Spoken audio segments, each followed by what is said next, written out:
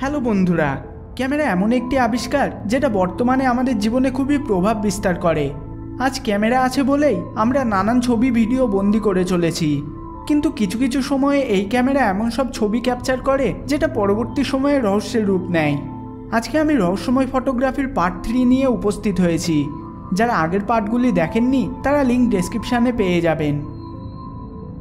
যারা এখনও আমাদের চ্যানেলটি সাবস্ক্রাইব করেননি, তারা অবশ্যই আমাদের চ্যানেলটি সাবস্ক্রাইব করার সাথে সাথে বেল আইকনটিও প্রেস করে দিন ভিডিও নোটিফিকেশনের জন্য।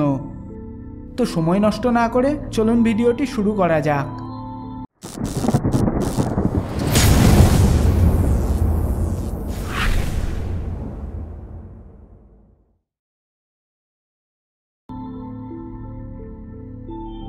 নাম্বার ছয় রয়েছে টমস্টোনের একটি আত্মার ফটোগ্রাফ। টমস্টোন হলো ইউএসের অ্যারিজোনার একটি ছোট শহর। এই জায়গাটি নিজের পুরনো পশ্চিমী ধাঁচের কারণে খুবই জনপ্রিয়। এই জায়গাটি যেমন সুন্দর ও শান্তিপ্রিয়, তেমনি রহস্যে ঘেরা। জায়গাটিতে একসময় খুবই খুন খারাপি হয়। একদিন অ্যাক্টর ক্লেন্টন ও তার বন্ধু এই জায়গাটিতে বেড়াতে আসেন। ওনারা ট্রেডিশনাল কাউবয় ড্রেস পরেছিলেন আর ওনারা সেখানে কিছু ফটোও তোলেন, যার মধ্যে একটি ফটোগ্রাফ বুটহিলের কবস্থানে তোলা হয়েছিল। দু সপ্তাহ পরে তার বন্ধু তাকে কিছু অদ্ভুত কথা বলেন। তিনি বলেন যে, ফটোগ্রাফের কিছু একটা ধরা পড়েছে। এই ফটোতে আপনি একজন টুপি পরা ব্যক্তিকে দেখতে পাবেন। অদ্ভুত ব্যাপারটি হলো যে, সেই ছবিটি তোলার সময় সেখানে তারা দুজন ছাড়া আর কেউই ছিল না।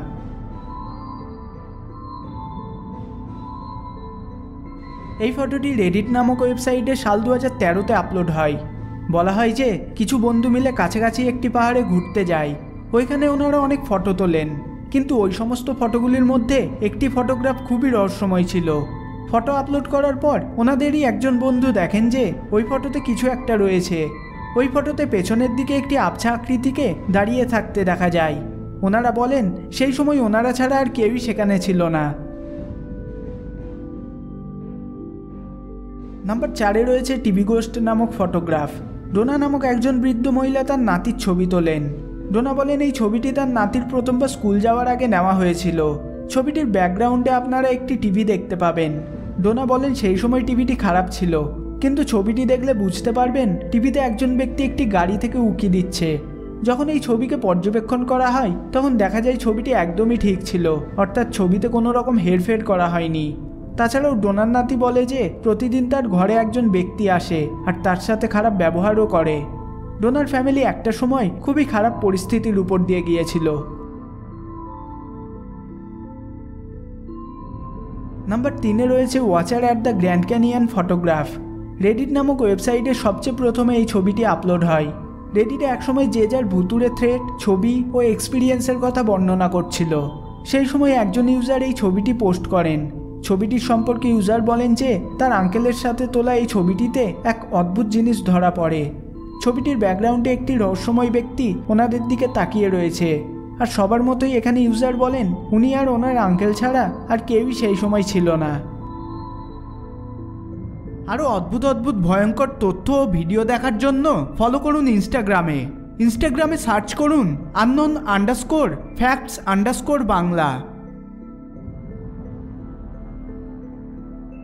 Number দুয়ে রয়েছে চাইল্ড ভিজিটার নামক ফটোগ্রাফ এই ফটোতে আপনারা একজন ছোট মেয়েকে কাঁদতে দেখতে পাবেন। ওই বাচ্চা মেয়ের মা বলেন যে ছবিটি তোলার সময় তার মেয়ে খুবই কাঁদছিল আর বলছিল কেউ একজন তাকে খুবই ভয় দেখাচ্ছে। এই ফটোটি যখন ডেভেলপ হয়ে আসে, তখন সেটি দেখে সবাই চমকে যায়। ফটোতে নিচের দিকে একটি অদ্ভুত ভয়ঙ্কর মুখমণ্ডল দেখতে পাওয়া যায়, যেটা সত্যি খুবই ভয়ঙ্কর ছিল। এক নম্বরে রয়েছে ভিজিটার নামক ফটোগ্রাফ এই ফটোটি একটি ছোট বাচ্চা মেয়ের জন্মদিনের ফটোগ্রাফ। এই ফটোটিকে মেয়েটির পিতা তোলেন। প্রথম প্রথম এই ফটোটিকে নর্মালি মনে হয়। কিন্তু যদি আমরা এই ফটোটির একটু ব্রাইটনেস বাড়িয়ে দিই, তাহলে বাঁদিকে একটি ভয়ঙ্কর আকৃতিকে দেখতে পাবো।